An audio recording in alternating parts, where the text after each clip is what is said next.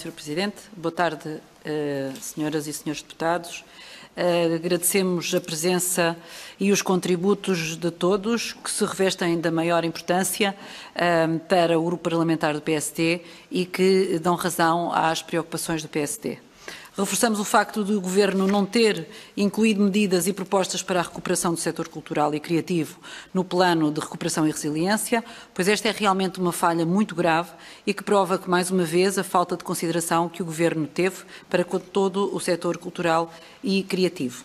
Sublinhamos ainda uh, que os testemunhos uh, hoje aqui ouvidos têm denotado um abandono e desleixo por parte do Governo em todo o setor da cultura e, em especial, do património. É por isso, assim, absolutamente indispensável que o Governo olhe para os contributos que as entidades dos mais diversos quadrantes da área cultural têm dado para que se inicie um processo de recuperação e de reanimação do setor.